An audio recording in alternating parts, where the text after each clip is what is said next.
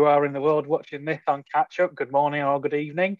Uh, welcome along to this online session at this year's uh, Festival of Ideas. To very briefly introduce myself, my name is Gary Brannan, and I am the Keeper of Archives and Research Collections uh, here at the University of York. And it is my absolute delight, honour, and privilege to host this session today. So, the reason we are here today.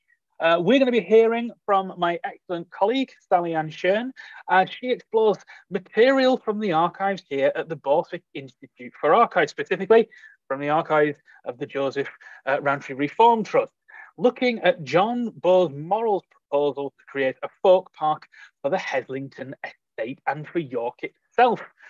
His idea uh, was to preserve the evidence of rural communities and their way of life and to use this living museum to educate future generations. To introduce Sally, Sally is Collections Information Archivist here at the Borthwick Institute for Archives, and they've got additional responsibility for our volunteering programme. Sally's been with us since 2014 uh, and has been, prior to coming here to York, Sally uh, volunteered at Wiltshire Museum, Wiltshire and Swindon History Centre, the Science Museum, Library and Archive, and Carnarvon Record Office. That's enough from me from this point in time. That right now, without any further ado, I will hand over to Sally-Anne for life as they'd like to see it York's Folk Park. Uh, so, hello and welcome. So I'm here today to talk about something that never happened. A lost project among, I'm sure, many lost projects that have been and gone in York over the centuries. And one which I did not expect to end up discussing when I set out to catalogue the extensive archive of the Joseph Rowntree Reform Trust last year. The Reform Trust is one of three trusts founded by Quaker philanthropist Joseph Rowntree in 1904, along with the Joseph Rowntree Village Trust, now known as the Joseph Rowntree Foundation, and the Joseph Rowntree Charitable Trust. Unlike its sister trusts, the JRRT was founded as a company with the power to give money to political and non charitable causes. Having now spent months exploring the archive, I can vouch for there being a lot of politics in it. But in one of the boxes, I was intrigued to find a bulging file labelled York Folk Park. I knew something about there being plans, once upon a time, for a folk park here, thanks to our Rowntree family and company archives. But the Reform Trust file was far more detailed than anything I'd read before, and its contents form the basis for this talk, highlighting the important role the Trust played in the scheme. The story of the folk park is one without a satisfying ending. You will no doubt have noticed that York doesn't have and has never had a folk park. But there was a time, two decades in fact, when we almost did, and that's what I want to talk about today. I would like to start by bringing you all with me to York, but not quite the one you're familiar with. It's a sunny June day, and you've come by train for a day in the city.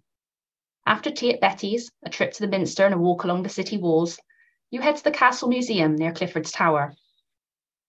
By now, the museum has been open to the public for more than 80 years. You've read that it was the brainchild of Dr. John Kirk, who was a voracious collector of everyday historical items, from horse bridles and milking stools to medical paraphernalia, weapons, clothing, advertisements, and all kinds of household objects. He called them his bygones and was even known for accepting interesting objects in lieu of payment for his medical services. From 1938, his vast collection has been on display at the Castle Museum, which was built in what remains of York's female prison.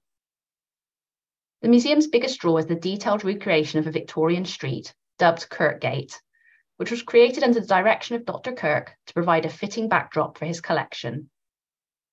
It was the first of its kind in Britain and remains enormously popular, filled with the artefacts of a long lost York, from the names of the shops themselves to the posters and advertisements that line the walls of the little back alleys displaying well known names like Rowntrees and Terrys.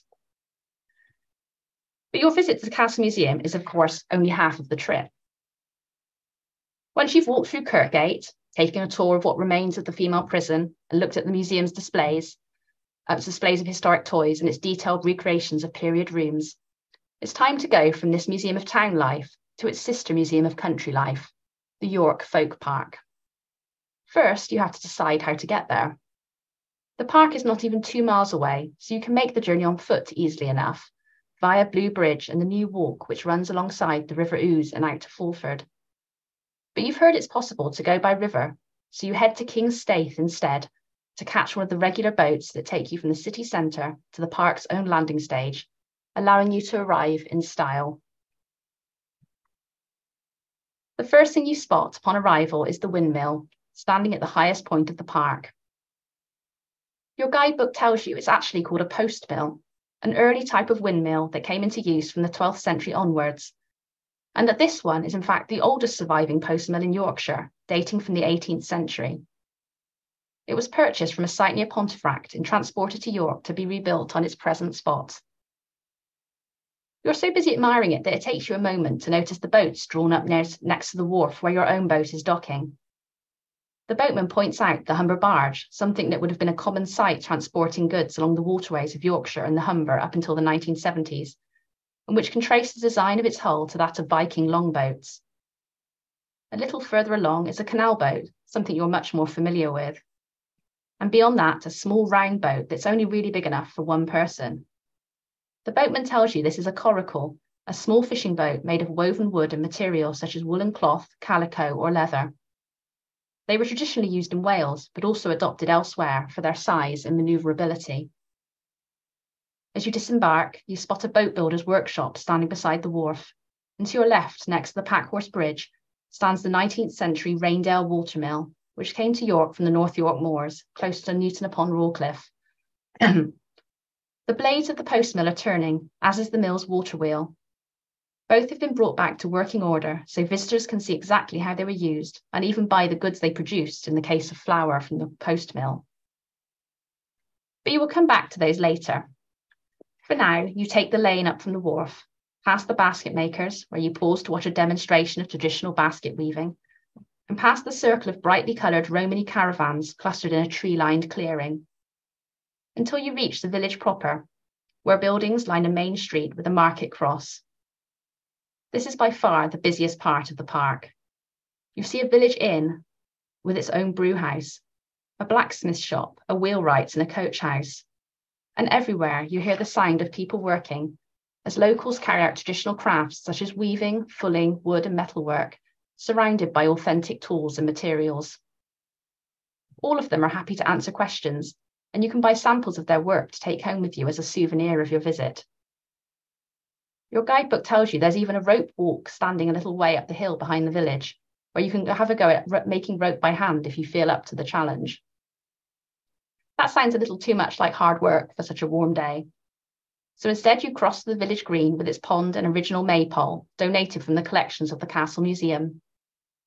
Later, there will be a game of knur and spell, a game played with a small wooden ball that was once popular in the textile areas of the West Riding and a display of folk dancing after that, which you'd like to come back to watch.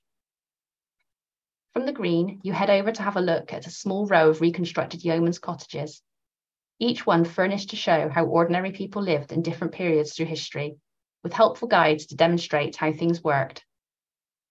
There's even room for a larger timber house brought to York from the village of Helperby, and it reminds you a little of the half timbered two story houses you saw on the shambles earlier that day. You complete your initial circuit with a visit to the small farm where you can see a horse mill in action, another kind donation to the park. The nearby shed houses a collection of surviving carts, and there are demonstrations of crafts such as hedging, thatching, rick building, and hurdle making to enjoy. Once you've watched the horse turning the mill wheel and visited the sheep, ducks, and goats in their paddock, there's just time to have a look at the small maze a replica of the Troy Town maze cut from the roadside turf between Terrington and Brandsby in Yorkshire. The original is said to be the smallest remaining turf maze in Europe, dating from the 19th century, although your guidebook tells you that local legend claims it's far older. The name Troy Town recalls the labyrinthine walls of the ancient city of Troy, and their purpose in England is debated. Some say they were used for entertainment on high days and holidays, while others claim they had religious significance of some kind. Today, though, there are children playing along its paths, so you head back to the village to sample some of the brewhouse ale as you find a spot on the green to sit and await the folk dancing. I hope you enjoyed your brief visit to the York Folk Park that never was, or one version of it at least.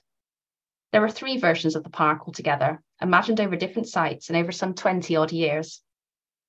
Today, I want to talk about how the idea of the folk park came to be, why it was important and what it involved, before answering the critical question what on earth happened to it? The origins of the folk park, York Folk Park lie not in Yorkshire at all, but in Sweden, where the first folk park was created in 1891 at Skansen in Stockholm. In a century of extremely rapid change, Skansen was created to preserve evidence of a pre-industrial Swedish way of life before it was lost forever. The term folk in this context refers to the customs and culture of ordinary working people, whose homes, material possessions, crafts, and stories were less likely to be preserved than those of the wealthy, and therefore more at risk of disappearing. The methods used to assemble the park were novel for the time. Its founder, Arthur Hazelius, travelled around the country buying some 150 houses, which he then had carefully dismantled and shipped to Stockholm to be rebuilt in the large park as authentic representations of pre industrial Sweden.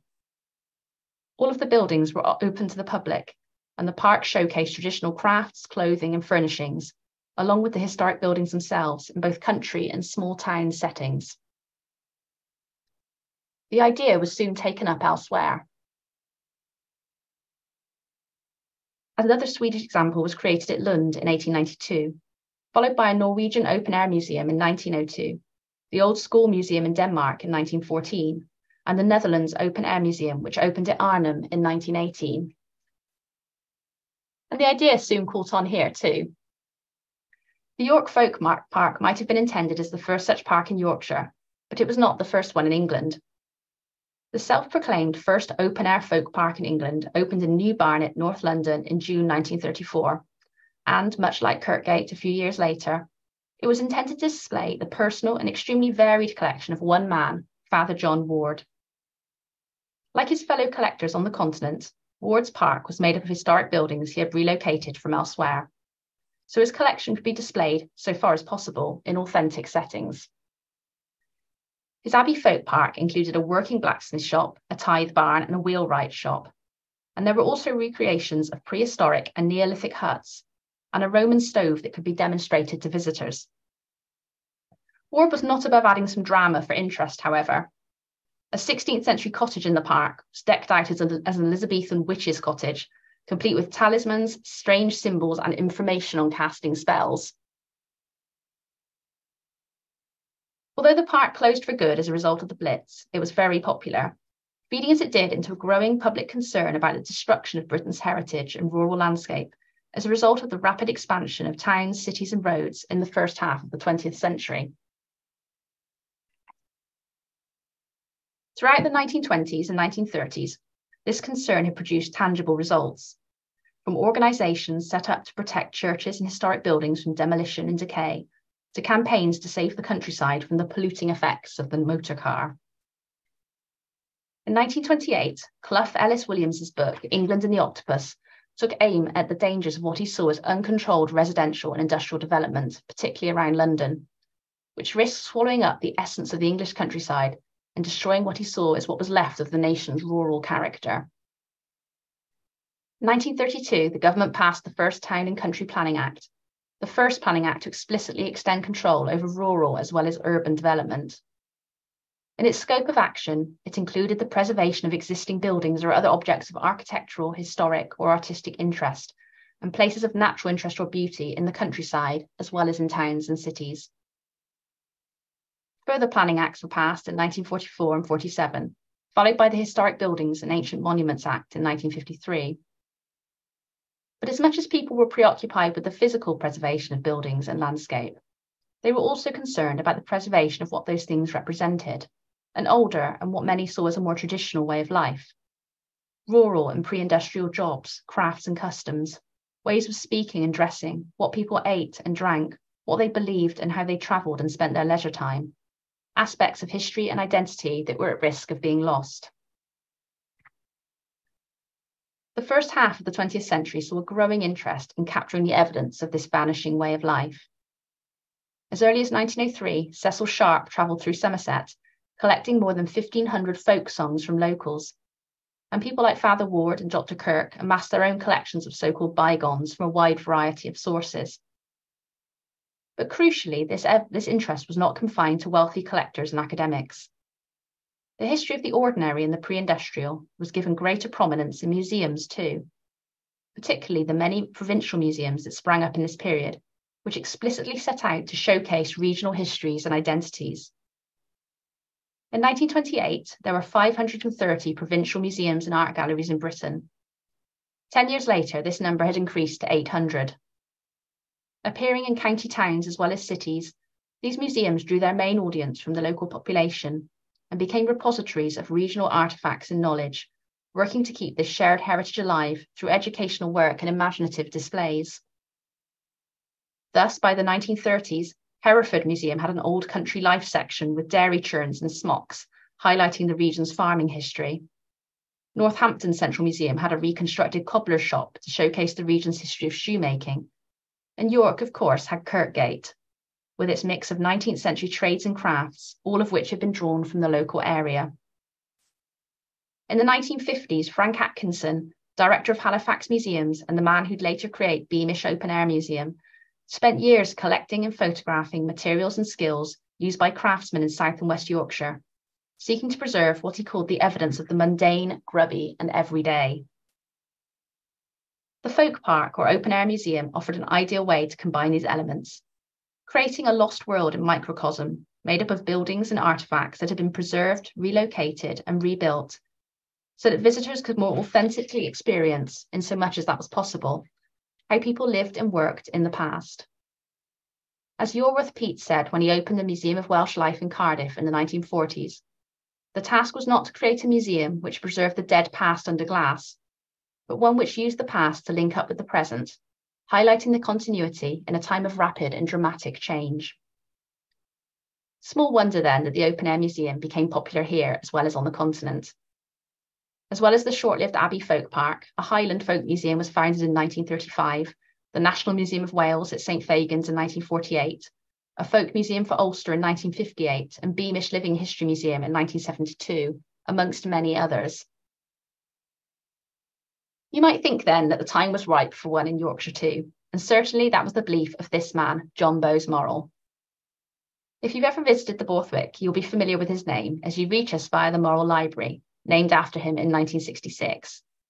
There's also a Bowes Morrell House in Walmgate in the city, and his name appears in many of our archives across a range of business, philanthropic, educational, and cultural endeavours.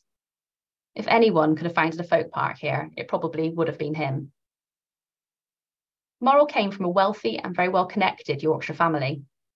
His father was general manager of the York City and County Bank, and Morrell the Younger enjoyed a long and successful career with the Rowntree Company, serving as the firm's finance director for many years. His influence in York was bolstered by his involvement in the newspaper industry. He was chairman of the Westminster Press for 20 years until 1953 and of the Yorkshire Herald Newspaper Company, which produced the Yorkshire Herald and the Yorkshire Evening Press, two of the city's most prominent newspapers. In addition to all of this, he was trustee and later chairman of the Joseph Rowntree Social Service Trust, now the Joseph Rowntree Reform Trust, as well as a Liberal councillor for the City of York for 40 years and Lord Mayor twice. He also played a vital role in the cultural life of 20th century York, particularly the preservation of the city's heritage. In the 1930s, he chaired the Shambles Area Committee, which purchased and restored buildings on York's famous medieval street. And in the 1940s, he began buying historic properties in York with the aim of preserving and restoring them for the future. This would later become the York Conservation Trust, which counts among its properties medieval and early modern townhouses and York's Theatre Royal and Assembly Rooms. In 1940, he wrote a book called The City of Our Dreams, which set out his vision for a post war development of York. In it, he stresses that improvements and modernisation need not be at the expense of the buildings and character of the historic city. In York, he writes, we still have more of the past worth preserving than there is in any other provincial town in England. And we have no need to reconstruct, but only to preserve, and then to add what is worthy in modern architecture to stand by the examples of the past. Although his City of Dreams makes no mention of a folk park, it reflects many of the same concerns that Morrell would later put forward in defence of the scheme. Most obviously, that necessary modernisations should not sweep away all before it, but also that the domestic architecture of the past, the surviving small townhouses, shops, and workshops, should be preserved where possible alongside the grand mansions and civic buildings, and that museums, of which he mentioned several, were of great educational value to people of all classes. We know Morrell had a strong interest in the history of the ordinary and the everyday, because he had already been instrumental in the establishment of the Castle Museum, something he would later describe as perhaps the best work he ever did. In 1932, when Dr. John Kirk was looking for a new home for his collection of bygones, it was Morrell who saw an opportunity to house them in historic prison that the City Council was then in the process of acquiring. Morrell held an influential position as chairman of the Council's Finance Committee, and both he and Kirk were familiar with the folk museums and parks of the continent.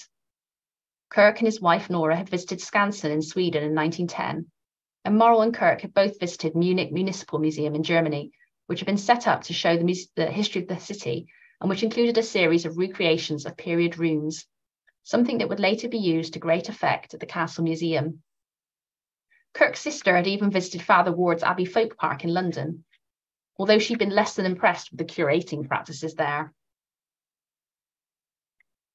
Despite facing a number of hurdles in terms of cost and attracting local support, Morrell and Kirk campaigned successfully for the creation of the museum, by the time it opened, Kirk's collection of largely rural bygones had been bolstered by Morrell's own purchases from the city.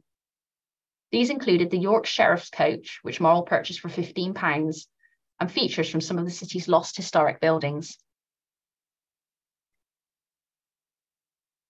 Morrell was very proud of the museum's success, but he also felt it told only half of the story. It was, he wrote later, an illustration mainly of city life, but the life of the countryman should be preserved too before it was too late. the Castle Museum was already in possession of or had been offered a number of buildings it could not re erect and display in its central York location, including a watermill from Raindale, an 18th century post mill, and an old timbered building from the village of Helperby. What if they and others like it could be displayed nearby as a sort of sister attraction to the Castle Museum and as a way of preserving buildings that would otherwise be lost forever? The earliest document we have that sets out his vision for a folk park is dated November 1956. And interestingly, it shows that the title of Yorkshire or York Folk Park is a bit of a misnomer, because what Morrell was envisaging was actually an English folk park that just happened to be based in York. In the memorandum, he argues that folk materials, that is, the mundane items that exemplify the history of ordinary people, had only recently begun to be given the prominence which their importance and interest deserve. It was not enough, however, to merely display them in cases in museums. To truly understand the folk life of the English people, such objects should be shown in their original settings, that is to say, in the type of buildings that once housed them. Throughout England, he writes, there are still fine examples of old watermills and windmills, small town dwellings, workshops, country cottages, farmsteads, barns, and other such buildings, which are just as historically important as the great mansions but every year sees more and more of them falling into ruin or being demolished to make way for new housing estates and other schemes. Unless an attempt is made to preserve them now, in a very short time, they will nearly all have disappeared. Whilst he felt it would be impractical to preserve them all in their original locations, relocating them to a folk park offered a number of advantages. There, the buildings could be shown as far as possible in their natural settings, appropriately furnished according to their respective historical origins, they would also be under constant supervision and less likely to fall into disrepair. But most of all, they would offer great educational value to students, school children, and the general public. At such a park, visitors could see how ordinary people had in the past lived and worked, with the whole park acting as a microcosm of English country life over the past 300 years. The site he had in mind was the Heslington Hall estate just outside York, the Elizabethan Hall and its grounds had been put up for auction by its owners, the Deramore family, in 1955, and Morrell had stepped in swiftly to purchase it through the Reform Trust for the sum of £10,500. In his 1956 memorandum, Morrell wrote that the estate would provide ample room for a park, which he felt would need at least 15 or more acres, with room for further expansion.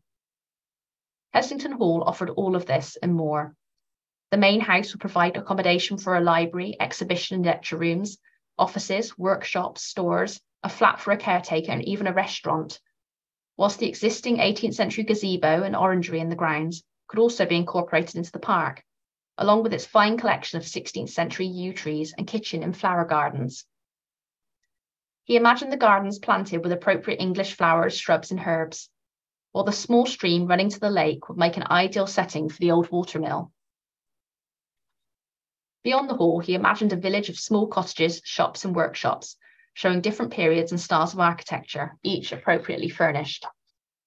There would be a smithy, wheelwright and joiner, a weaver, rope maker, potter, and other crafts that once flourished in small communities.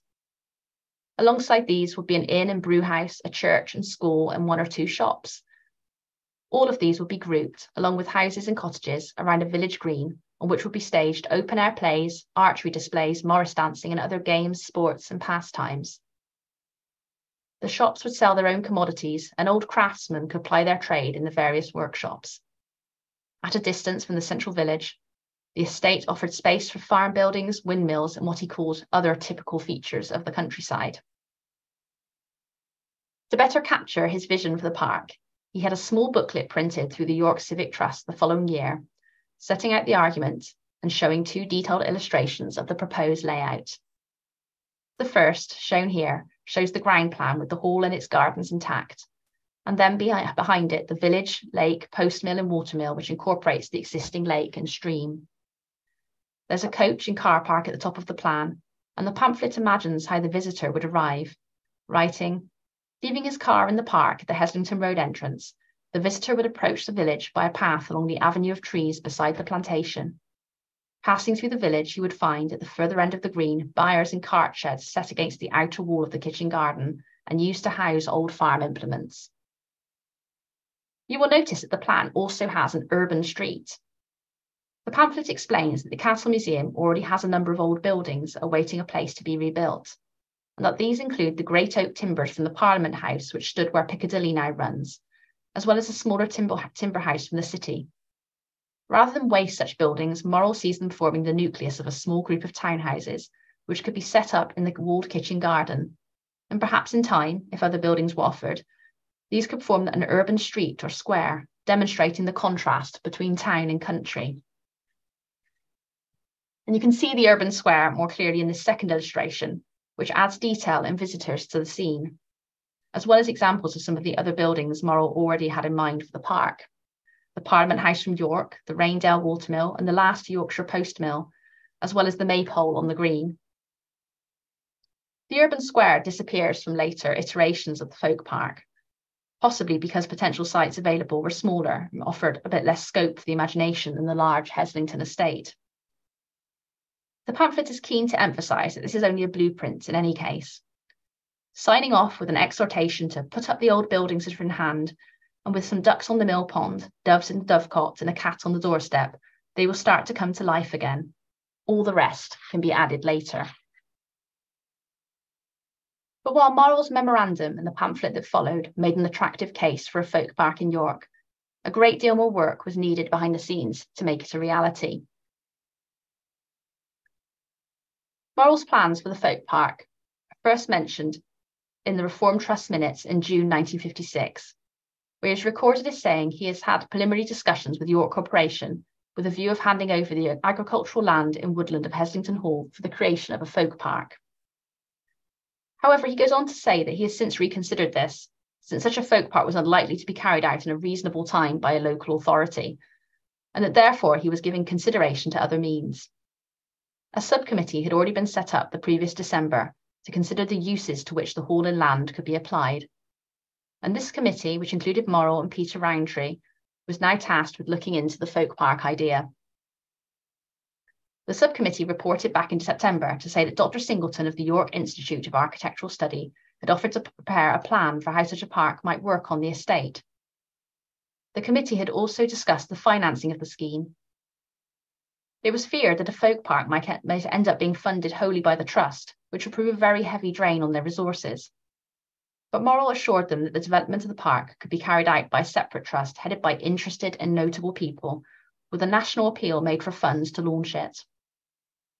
In December, he clarified that he envisaged making a gift of the land to a new charitable trust which, with the help of public donations, would create the park and then hand it over to the City of York, who already, of course, owned the Castle Museum and the famous collection of Dr. Kirk. This plan was reiterated the following year, although now the land was to be given to the York Civic Trust, of which Morrell was chairman, who would sponsor a public appeal for funds. Progress on the Folk Park plan was nonetheless slow. In June 1957, the subcommittee reported that the York Civic Trust and York Corporation's Castle Museum Committee were both in favour of the idea, and that the plan was still for the Civic Trust to launch the park and the City Corporation to maintain it. The corporation was still in the process of negotiating its takeover of York Museum Gardens, however, so Morrell felt the Folk Park plan should wait until this had been completed. In August, a piece appeared in the Times newspaper reporting that the Heslington estate had been offered for the site of a national English folk park and stating that the Castle Museum already owned a suitable watermill, which was dismantled near Whitby, and that Mr. Morrell had purchased a post mill from a site near Doncaster. The Castle Museum had a maypole, and an anonymous donor had offered a horse mill. And it added that those sponsoring the project believed that more offers of buildings and objects would flood in once a public appeal was made. In the meantime, however, the Reform Trust was footing the bill for the maintenance of Heslington Hall and estate, and they were keen to find some use for it to help with the cost of its upkeep, even if it was only a temporary one. Various schemes were discussed, including the Youth Hostels Association taking over the hall, or it being used as accommodation for students attending the summer courses in the city. In 1958, Leeds University approached the trust about buying the hall, Morrell and his fellow directors agreed to offer it to them for £10,000, but with the condition that the sale would not include the stable block and the land necessary to build the folk park. As it turned out, Leeds University did not have the money to both purchase and adapt the hall for its needs. But another university was on the horizon, and this one would put pay to the Heslington Park idea for good. The campaign for a University of York began in the late 1940s and counted Morrell amongst its most active and enthusiastic members. By the 1950s, there was a York Academic Development Committee with a serious programme of work, initially to create summer schools and then to create formal institutes of learning as proof that York could be a centre for further education. The Borthwick Institute, incidentally, was one of these, founded in 1953. In 1959, the Reform Trust minutes record the first reference to Heslington Hall and its surrounding land being used as a possible site for a university. It was in many ways an obvious choice. There was no space within the city walls for a uni- new university, and the Heslington estate was a large, undeveloped parcel of land within two miles of the city centre and already owned by a Rowntree Trust, with close links to the Academic Development Committee, York Corporation, and the Civic Trust, all of whom were key players in the university campaign. It was Morrell himself that proposed the motion in a meeting of the Trust in October 1959 that they should undertake to transfer Heslington Hall and grounds to the new university once its creation was certain.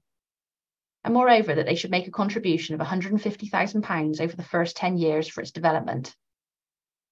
At the end of the discussion, Morrell was presented with a book inscribed by his fellow directors in recognition of his long and sustained efforts to secure for York the highest academic status that of a university of its own. In April 1960, the government approved the plan, and in 1962, the Reform Trust formally transferred the Heslington estate to the new University of York. Where then did that leave Morrell's Folk Park? When it became apparent that the new university would need the Heslington site, Morrell quickly began looking around for another and soon lit upon an area of land at Fulford to the south of the city. In 1961, Morrell proposed that Joseph Rowntree Memorial Trust carry out a survey of the river approaches to York, with a view to funding or campaigning for any necessary improvement works to be carried out. The Memorial Trust duly agreed and appointed a landscape architect, Mr. Clark, to do the work. And immediately met with Clark and not only secured his support for folk parks beside the river, but also got him to suggest a good site for it on a piece of land owned by York Corporation that had conveniently already been raised above flood level and was linked almost directly to the Castle Museum by the popular riverside walk known as the New Walk. Whilst not as large as the Heslington estate, Morrell felt that the Fulford site offered some room for expansion and would act as a convenient outdoor extension of the Castle Museum. So keen was Morrell on this new site, that he had Mr. Patterson, the curator of Castle Museum, create a coloured plan for it, and he turned this plan into his Christmas card for 1962. This is the plan that you saw at the beginning of this talk, giving you an idea of how the folk park might look and what it might include. Gone was the town street or square. Instead, Morrell described this park as showing the evolution of the English way of life in village and country during the past 500 years.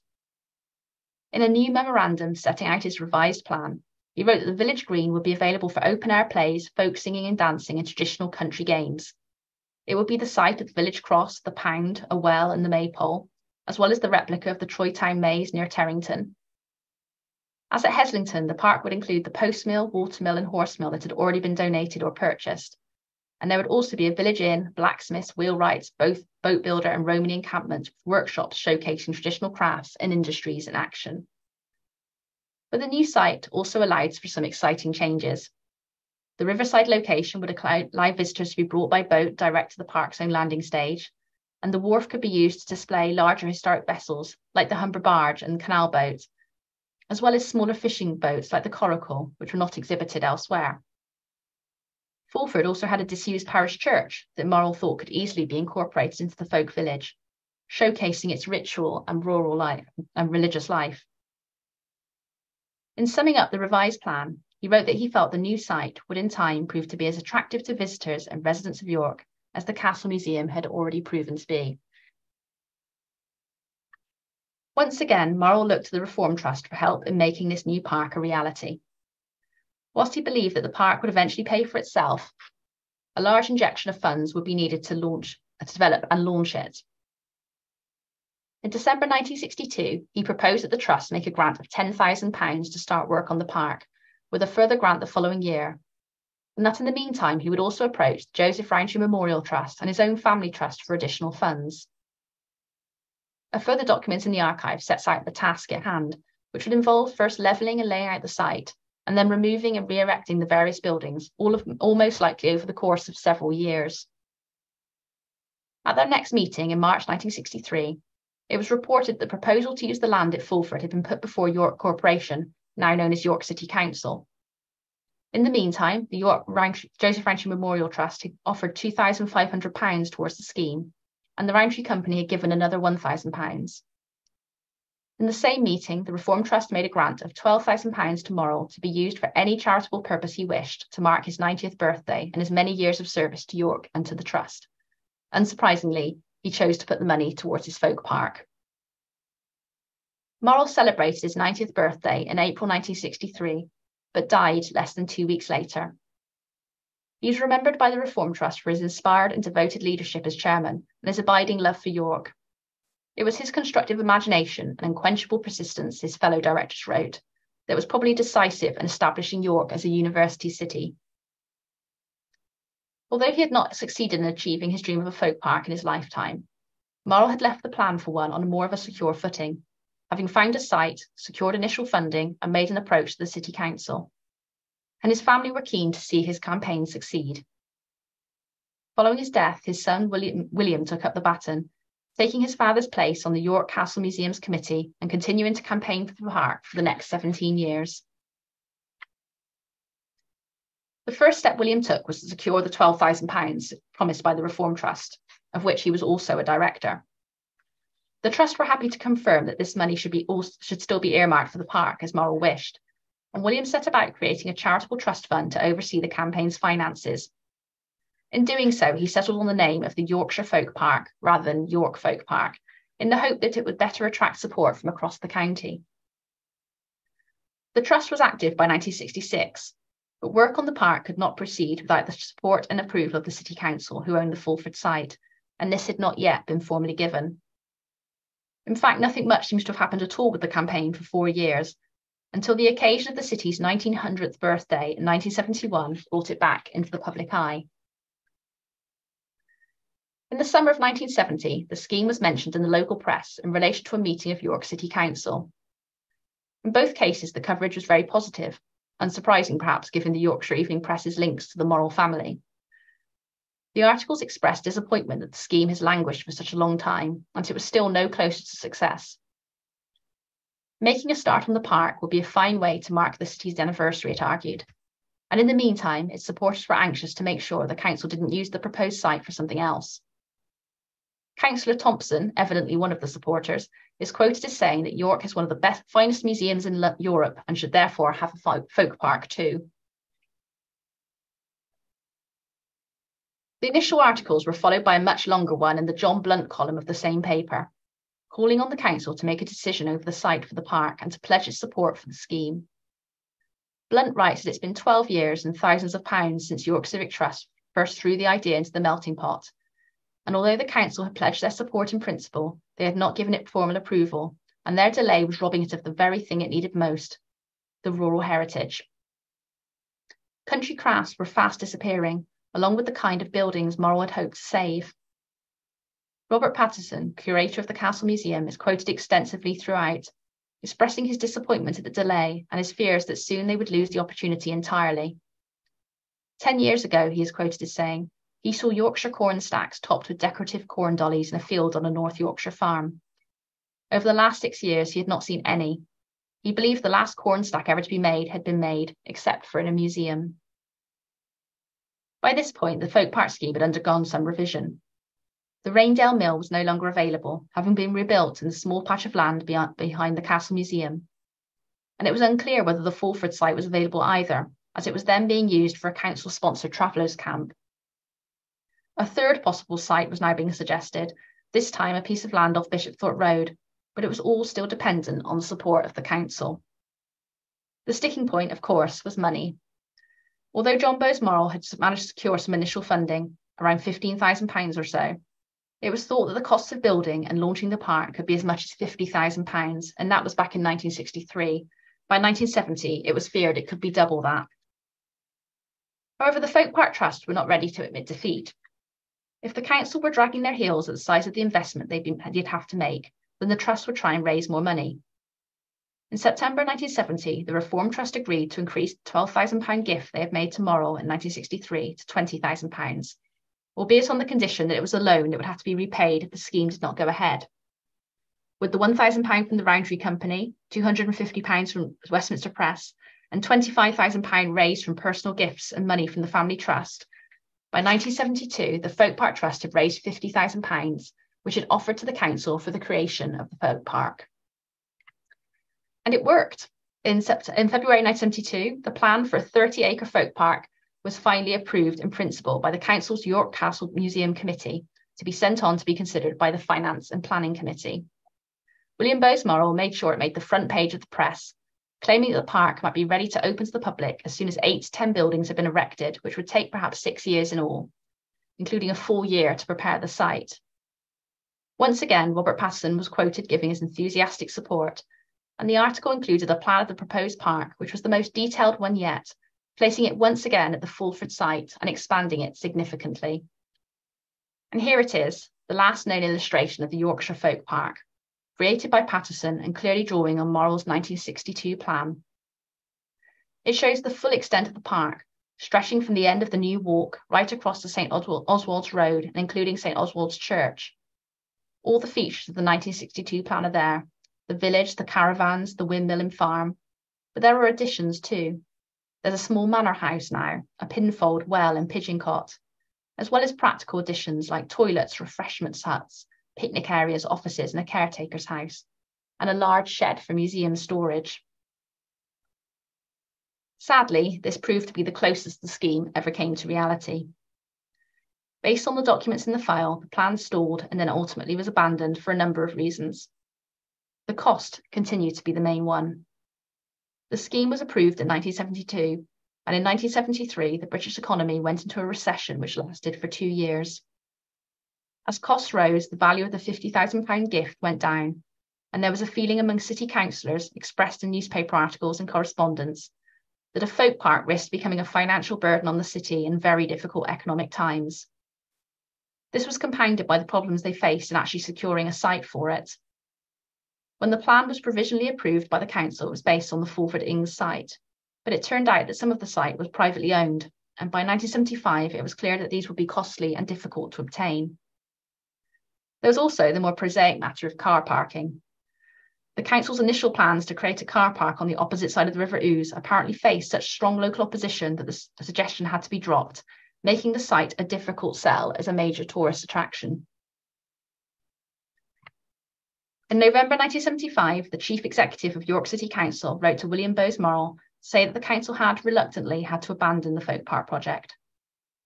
The idea limped on for a few more years, with various ideas put forward to try and keep the essence of the folk park scheme alive. There were some discussions with the York, North Yorkshire Moors National Park about perhaps building the folk park there, or making it part of the existing Ryedale Folk Museum, but these were rejected on planning grounds as it was felt they would create far too much traffic. Similarly, a plan to invest the funds in a museum of farming history at Murton outside York was not felt to be viable. Morrell even suggested some kind of urban folk park instead in the Casquet area, but this was also rejected by the council. By 1979, despite William's best efforts, the scheme was officially dead, and the main grant of £20,000 received from the Reform Trust was returned. The entire scheme, from Morrell's initial memorandum to the final failure of the project, lasted just over 20 years and leaves us with many what ifs. What if Morrell hadn't died when he did? What if the project had been started earlier or been approved sooner? And what if the university hadn't needed the Heslington site? Ultimately, it seems to have been a case of the wrong place and the wrong time. But the fact that the scheme was put forward at all speaks to a very real concern about what was being lost as well as gained in the rapid progress of the 20th century. And the importance of the ordinary and the everyday in our understanding not just of the past, but also, also of the present and how we came to be where we are. Today, the York Folk Park is something that only really exists in the archive, but there was one tangible result of the scheme. In 1980, the Reform Trust agreed to make a grant of £10,000 out of the money originally earmarked for the Folk Park for the purposes of creating a Victorian solicitor's office at Beamish Open Air Museum in County Durham. The office used the name of J and R.S. Watson, R.S. Watson being Robert Spence Watson, the Quaker reformer and solicitor whose daughter Bertha married John Bowes-Morrell in 1902. The grant was duly paid, and the solicitor's office can still be seen there today as part of the Ravensworth Terrace buildings in the replica Edwardian town. On the surface, this might seem a far cry from the Living Museum of English Rural Life Morrell suggested in 1956. But the origins of Beamish, too, lie in the Scandinavian folk park movement, it describes itself as a living, working museum that aims to illustrate the lives of ordinary people in Northeast England, showcasing rural as well as urban life. And as such, I like to think that Morrell would have approved. Thank you very much. Thank you very much, uh, Sally.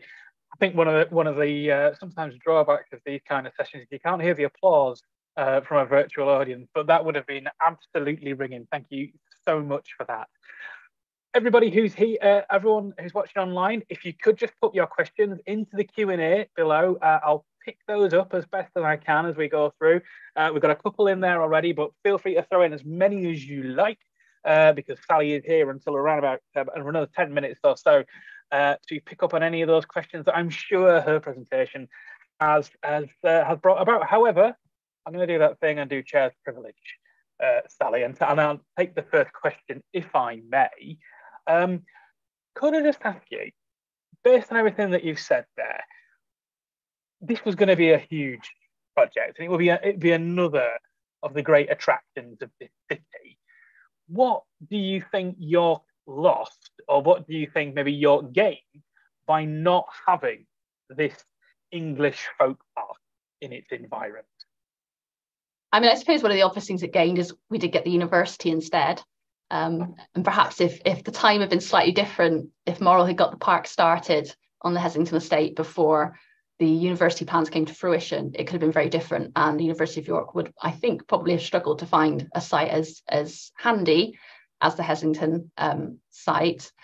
Uh, I think in terms of what it of what York lost, I mean, reading the file and working on the papers, you do find yourself wishing there was a folk park in York. I think it would have been wonderful. Anyone who's visited St Fagan's in Wales or Beamish or um, the Weald and Downland Museum or any of the ones I mentioned, you know, will know how enjoyable folk parks are. And having having Castle, the Castle Museum in Kirkgate, which is this wonderful recreation of, of urban life, you can see where Morrell was coming from, where you think how wonderful if you could have come from that museum which showcase the kind of urban, you know, urban, not just uh, not just specifically York, but kind of urban life in the turn of the century. And then you could have gone to a sister attraction just a couple of miles away and also got to see kind of buildings that have been preserved.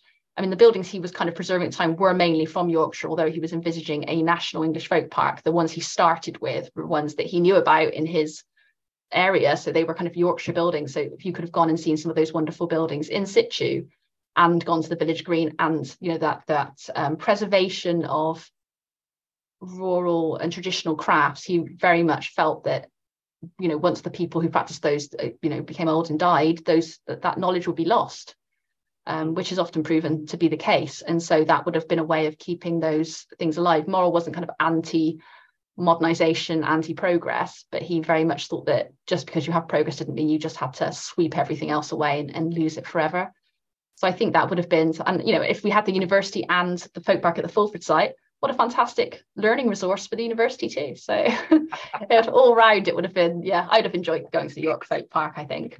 Wouldn't it just wouldn't it have been great? Okay, uh, I'll just take some questions from the audience. Audience, thank you for the questions so far. Keep putting them into the Q and A. Uh, we'll get through as many as we can. So uh, we've got a question here about um, if you just think what what are the main differences between a museum, folk or otherwise, and a folk park? What what is the difference? Um, I think from kind of my reading for the talk, the a museum is very much more. I mean, in some ways, it's kind of a folk park is outside. It's actually bringing the buildings there. So while a museum might do a recreation, for example, I mentioned, uh, I think Northampton Central Museum had a recreation of a cobbler shop. It was a kind of recreation of one. It wasn't an actual cobbler shop they had taken down, transported, and built inside the museum. In the same way that although Kirkgate has furnished its buildings authentically. The buildings themselves are not authentic. The buildings are create 1930s creations of Edwardian and Victorian shops and buildings. It has to be because it's being built inside. They couldn't really go and get whole shops, transport them in, or perhaps they could, but I think it would have been a challenge to build them inside the museum. So a folk park is, I suppose it would think of itself as perhaps more authentic. It's actually bringing the physical buildings taking them down carefully, it's transporting it, putting them back up so they can kind of be seen in their natural settings. Of course, it's it's inherently artificial.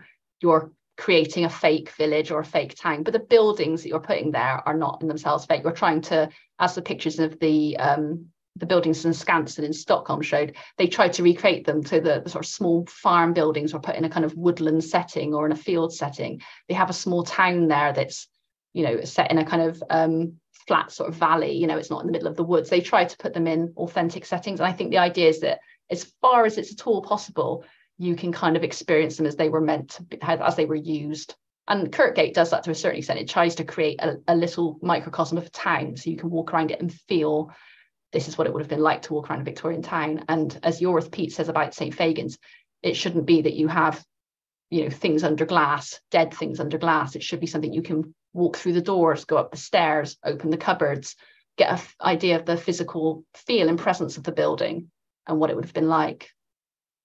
Yeah, in feel so that that, that the, the difference is is, is certainly not just like the fact it's outside; it's in its approach.